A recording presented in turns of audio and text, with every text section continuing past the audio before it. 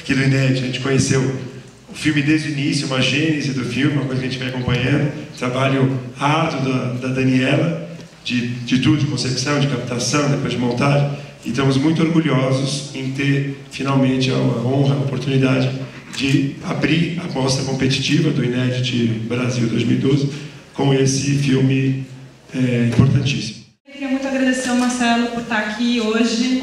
É, vocês vão entender vendo o filme a dificuldade que é né, o dia a dia dele e não é fácil ele chegar aqui, estar aqui com a gente. Então, também acho que é a primeira vez que é, acho não é a primeira vez que ele vai assistir o filme na, na sala de cinema. Eu acho que isso é muito legal, assim, até eu estou bem curiosa é, para ver essa cena, é, já que a gente vê tudo em cena, né?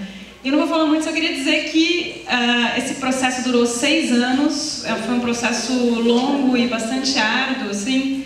Dizem que todo, toda obra, todo filme, todo livro é um pouco autobiográfico, né? E eu, eu acredito nisso. Eu acho que esse filme fala muito de mim também, né? Ele é sobre o Marcelo, mas eu acho que ele fala muito de mim. Eu, eu acho que eu também passei por essa transformação junto com o Marcelo, aprendi muito com ele.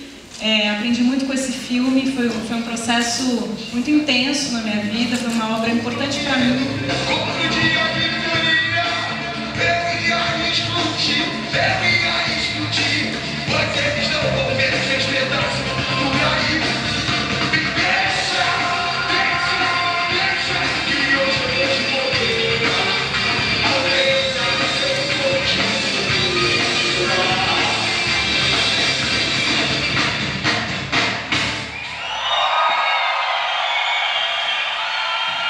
Uma vez a gente conversando, Ali falou assim para mim, é, olhe bem Marcelo, Marcelo Yuca. Yuca, preste atenção.